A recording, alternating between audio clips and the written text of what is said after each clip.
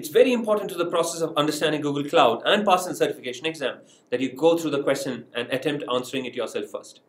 So pause the video, work through the question. We'll catch up in just a little while and I'll show you how I do it. In this project scenario, your company has decided to make a major revision of the API in order to create better experiences for their developers. They need to keep the old version of the API available and deployable while allowing new customers and testers to try out the new API. They want to keep the same SSL and DNS records in place to serve both APIs. What should they do? So the requirement here is to support a completely different API version, which is a major upgrade.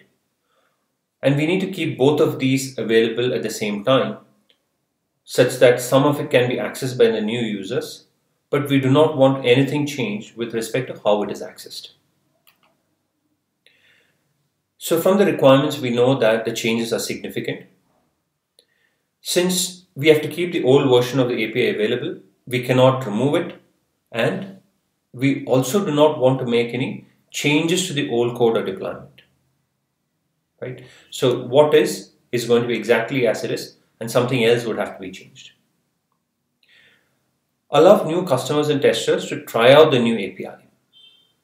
So we have to have a way to allow some users, right, certain customers and the testing team to have access also to the new API. We need to keep the same SSL and DNS records in place to serve both APIs. So the new APIs have to use the same certificate and the same IP and domain name. Right? So we cannot change anything about what the world sees with respect to access to the API, right? And both API versions have to be served at the exact same point. With the requirements understood, now let's look at the options. Option A suggests configure a new load balancer for the new version of the API. So the existing version uses the load balancer is using and for the new API it's saying put up a new load balancer. But a new load balancer will require a new public IP and therefore changes to either the DNS records and the SSL. So this is not a viable option for the requirement that we have because we need to retain the same SSL and DNS records. So option A is not viable. Option B suggests reconfigure old clients to use a new endpoint for the new API. So this is recommending that the new API now takes over the SSL and DNS records of what existed before, whereas the old one is set up at a um, at a new endpoint. This is not accessible because this is still a new API version that is being tested out, right?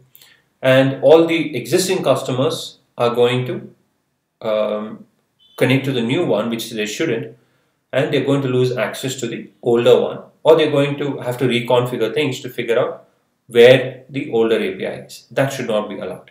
Right? So a new endpoint will again require changing SSL and DNS for somebody, right? In this particular case, the um, old deployment, and that is also not allowed. So option B is not acceptable. Option C suggests have the old API forward traffic to the new API based on the path. So we do know that based on the path, we can say, okay, this is going to slash v2 and that is going to slash v1, right? If it has slash v2 in the URL, then we say, let it all go to the new API. However, doing it this way will require code changes to the old API, right? And we'll have to redeploy that code. I don't think your product manager or your deployment team is uh, going to allow that, right? Because we are trying to force fit this ability to um, forward traffic from the older one to the newer one, which is error prone and the excess effort required to recoding it and redeploying it. The good thing about this, it does retain the same SSL and DNS. So you have the same SSL and DNS, the same IP address. Users hit that and then we would be able to reroute it. However, for all the excess work involved and for the problem uh, uh, for the issue that could be problematic, we shouldn't be selecting this as a right option. So option C is not workable. Option D suggests that you use separate backend services for each API path behind the load balancer. So now there are separate backend services that are individually scaling. Both of them sit behind the same load balancer and depending on the API path, the load balancer routes the request to one backend or the other.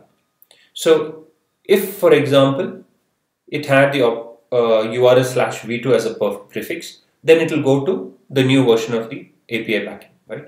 Whereas if it didn't, it could go to the original one itself. Now this approach retains the same SSL and DNS, right? Because the front end is still the same, right? The only thing we are doing here is that to route the traffic, we are making a configuration change in the load balancer. So no code changes, no redeployment. All we do is a minor configuration change in the load balancer to allow traffic to be routed to a different backend depending on the URL path. This suits all the requirements that we have and therefore becomes the best option to choose for this requirement. Okay. So the right way to do this would be to use separate backend services for each API path and then to configure that URL path in the load balancer to route the traffic to the appropriate backend. If you thought that content was great, you absolutely must check out all our new upcoming content. So subscribe right away.